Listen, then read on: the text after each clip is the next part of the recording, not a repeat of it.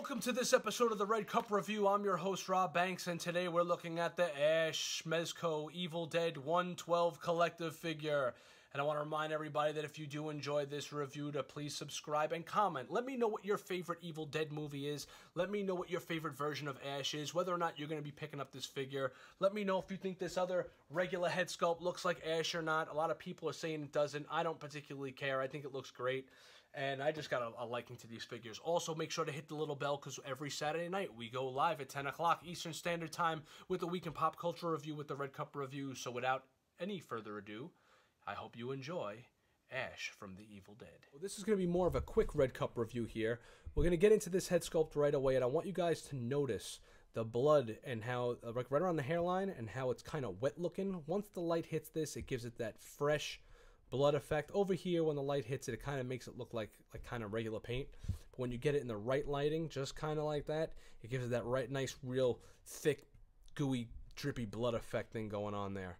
So the the um, paintwork around these heads in particular on this figure, I think Mezco did a fantastic job. Probably some of the best around the ear paintwork that I've seen so far from them. The outfit itself is all kind of stained with blood and roughed and tarted. This is stitched to the leg. Be careful. Do not rip this off. Be careful with the tattering. You don't want to rub up and down too much on this because it will fray more and more, and before you know it, you won't have any shirt left. Let's take a look at this accessory here because I already put this on. He doesn't come in the package with this. You have to put this on him, and the peg hole is really deep. There's the pulley right there. The pulley does not pull off. It's all one sculpted piece. But look at the work right here on that. It looks like it's just dripping with gore and it's got like rust spots in it and it's all battle damaged up and nice and you can see the blood splattering on the damn chainsaw over there too as well. And this side shows you that it's like kind of rusted looking and the blood is kind of old. Then when it hits the light just properly, look at that. The blood kind of shines right in the grooves there. So the paintwork on this is actually quite quite excellent. There's the uh, the sheath where he puts his um, his shotgun in. So you take the shotgun out, put that fella right back there, and boom, it sits in there nice and does not come out. So it sits in there nice and tight. So there's Ash for you. Here's a quick look at his legs. He's got the double jointed knees that go up. Uh, it's on both of them. The ankle rockers are excellent on this figure. They ankle rock perfectly. They rock. The ankles rock. And uh, the hand holds the book and the gun, or there's actually a, another hand for holding the book, but you know this hand works just as good. You just slide it right in there, and now he's got his book that he's holding, and he's kind. This is this head sculpt is the most like Bruce Campbell too. It's also the most expressive. It's probably tied. I, I got to edge it out. I probably like this one a little bit better just because of the expressiveness on it as far as my favorite one goes. Because it looks like he's just kind of had the worst day and it matches his outfit. He's already been to battle. However, a lot of people are giving this other head sculpt a lot of flack saying, hey, this doesn't look like Bruce Campbell. It's the worst head sculpt ever.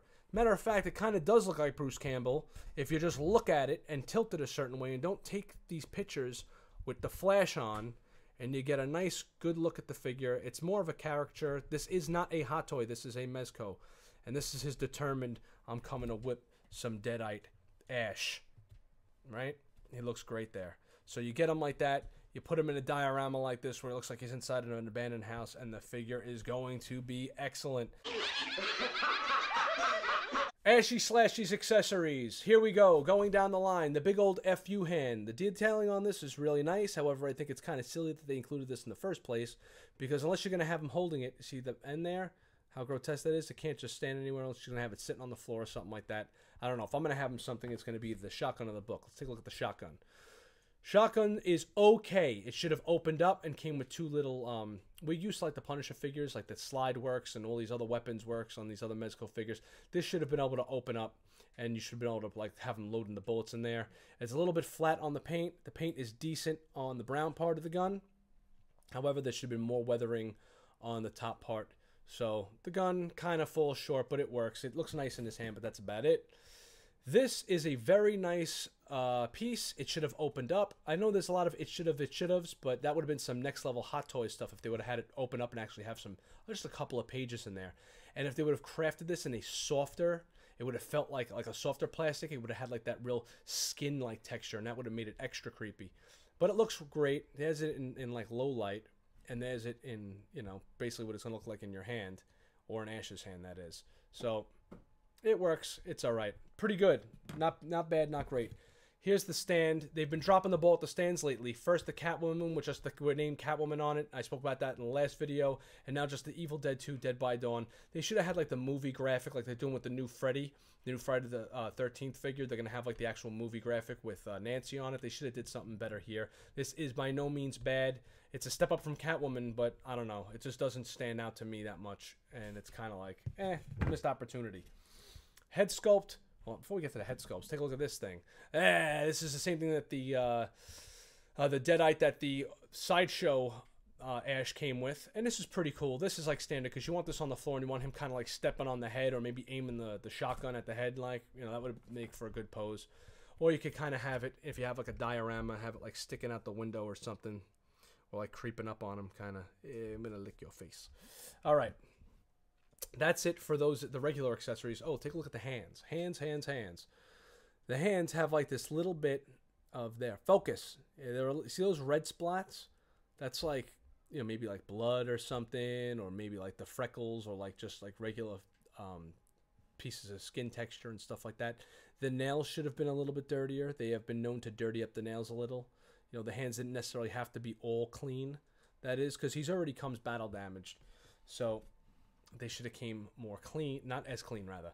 Okay, head sculpt number one. These grooves in the face are actually sculpted. Let's see if I can get my see how my nail stops. I scrape it and the nail stops. That's because they're actually sculpted into the face, which is quite excellent.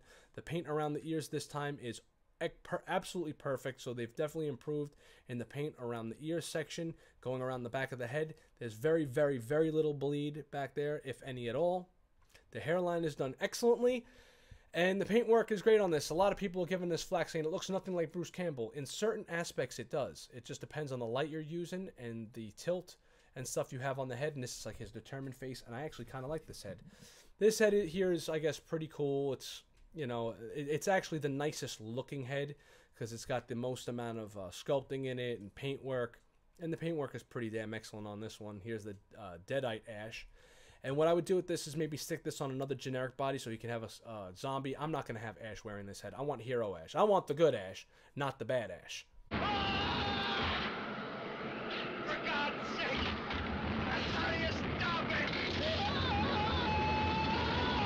How many cups is this figure getting? We're giving him three and three quarter cups. I think he's excellent. I think he's going to fit great with my Freddy versus Jason versus Ash, which is what I'm doing with my piece of the collection here. And uh, let me know what you guys are doing with your uh, little Ash setup. Why is he only getting three and three quarters cups? Well, he's only getting that because of the uh, single jointed elbow. There's a couple of nits. There should have been a little bit more weathering on the shotgun. And that's just about it, though. I got to be honest. I, I kind of really dig this figure, but I can't just go all out and start, you know, piping it uh, because he only deserves so much. Even though I happen to love him, I still got to be kind of impartial, right? I mean, this just isn't, you know, that's what I like. But his arm goes back about that much anyway, just to give you guys an idea. So three and three quarter cups for the Red Cup review. How are you displaying your Ash figures? He fits in perfectly with your horror figures or your movie icon figures, for that matter. So thanks for watching. Stay tuned for the next episode of the Red Cup review. And if I can't get another thing out this week, make sure to tune in on Saturday night at 10 o'clock Eastern Standard Time with a pop culture review, weekend review with the Red Cup review. We'll see you then.